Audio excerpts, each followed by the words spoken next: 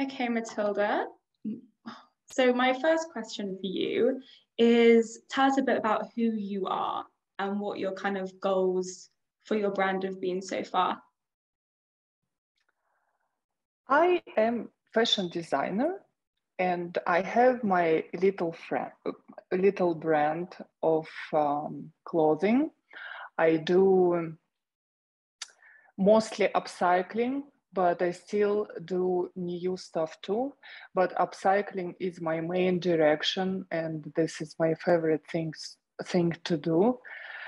And uh, my goal is uh, uh, to show to people how we can live without producing uh, more and more and polluting everything and um, also show to people another fashion and uh, another beauty. So I want people be a little bit more acceptable to each other and uh, be more open and aware what they really want, what they really like, and not what um, somebody tries to to tell what to like if it has sense? Yeah no of course. Um so you mentioned upcycling. What made you gravitate towards that as your kind of form of um, designing?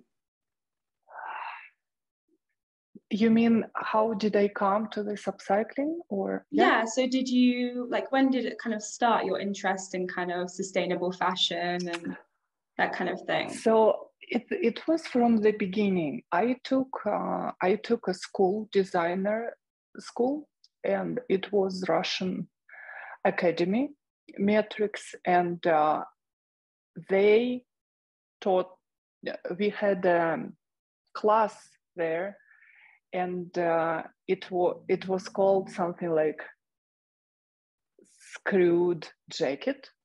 Oh wow, such a lovely name. And and they it's it's this class is uh, the purpose of this class is, is uh, to open your creativity to make you think out of box to a little bit lose you up if you want.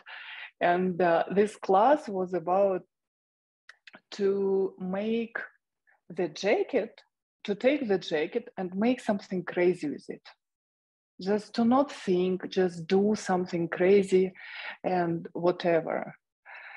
And i it was my favorite. And since then i, I can't stop doing crazy stuff with uh, with the things. And i started already doing sometimes i use new materials. For example i have dress from socks and yeah i saw uh, that one. no, socks of course nobody nobody worn before. So yeah so I, and you know since then first of all i liked to do this. I had so much fun. And the second i already started thinking this is great way to to start the my brand uh, based on this concept because I changed my mind about everything what I was planning from the beginning uh, about this manufacturing and and I decided that that's what we have to do now. Yeah, no, of course. So um what do you think about fashion as a way to bring attention to the climate crisis? It's you know you can you can attract attention to everything you want with fashion. It's a some sort of tool which you can um, use for taking attention uh, of people and talk to the people uh, what you want to show. You can show you can you know you can show the using this uh, concept and uh, upcycle different materials you show that uh, we are in crisis now and uh, let's people try to to be more aware of what we do what we buy what kind of quality these things. And um, maybe to change our minds that maybe the piece shouldn't be new. How still a lot of people they have this um, stereotype that the piece should be new and nobody was, was wearing it before. But if to look at that from another perspective, uh, like in a piece of art, it doesn't have any sense.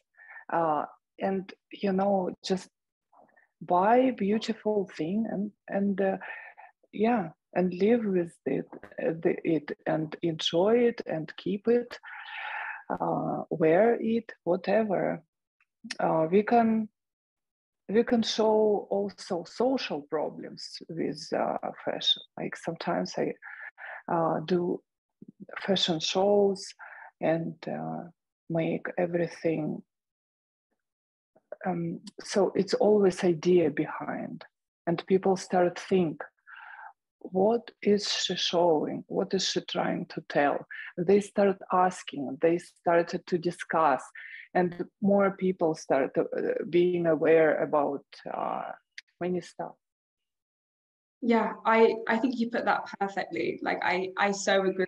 Um i think fashion is one of the best ways to actually show um, kind of social issues and this thing about climate change especially because of fashion's impact on the world. Um, so you mentioned social issues, um, and I know one of the topics you'd like to tackle is beauty standards. Um, and I think some people would decide that fashion would be an interesting medium to explore beauty standards just because of how ingrained beauty is with fashions. What would you say to people who kind of don't understand why you explore that through fashion?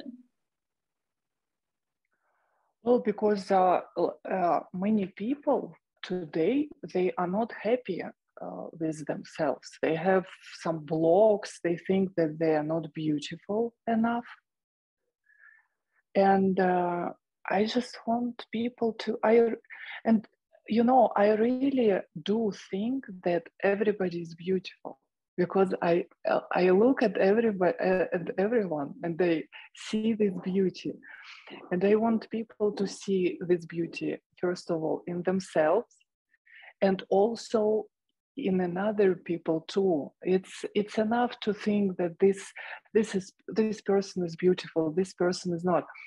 I think the beauty is in the in personality it's in the eyes it's inside of ours. And uh, what is uh, what is now people think maybe ugly? Big ears big noses big mouth. It's actually very beautiful and uh, it shows your personality even more and uh, it shows your uniqueness. So i'm trying to uh, um, to make people think this way. Yeah no i think i think that's beautiful honestly. Um so kind of the way you go about your designs and your process has that changed? Has your creative vision been altered by the um, pandemic at all it, it didn't change, but you know, during the pa- pandemic, I created some nice pieces, which is probably I wouldn't have if uh, it didn't happen. So I had a, a lot of handbags in my place because we stopped using this uh, our bags to go to shop uh, and uh, because they didn't accept our backpacks our bags and uh, we had to buy these uh, little handbags which are awful quality you can't use them twice because they are oh, like God. very um, fragile and uh, it was so much in my place that I just decided, oh my God, it's so a shame. And I have to make a dress from that. And I made a dress from these handbags. It came really, really beautiful. So this thing also I have a dress from gloves because when pandemic started, we were panicking and we ran to the stores and bought a lot of gloves and masks. You remember that? So yes, it was panic, and we never used them, never. But we bought so much because because we didn't buy in the store because stores they were empty. Uh, people bought everything, and and under this panic, we bought so many gloves, uh, latex gloves, black and uh, the, we never used. Um, maybe I took one uh, one pair to use when I dye my hair, and that's all. so, so I made a dress from gloves. It's it's very cool. I never published it yet, but I will publish it soon. I just need to make a photo shoot with that piece. So, um, do you have like a favorite piece that you've made? Like, would you be able to tell me something about the special to you that you made? Uh, favorite piece? Mm. I actually, I have not like my favorite. I don't have favorite. I have uh, more complicated pieces and more crazy and more minimalistic. And I do like uh, more crazy stuff, and I wear it. I like to use stockings to decorate my designs, socks, uh, distress the clothes. Like I re- I am very obsessed with my last collection, uh, Oculus Dei, and these dresses. They are cocktail dresses black, black little dress, and um, they have human organs. I saw uh, these. So I saw these. This collection, I am obsessed right now, and you know it's always changing. So I do something new, and I sometimes don't want to even sell it. Uh, so th- because I I, I want to look at it. I want to make more photo shoots uh, with it. I want to play with that. And uh, but then when I did enough, I can actually make even discount to sell it.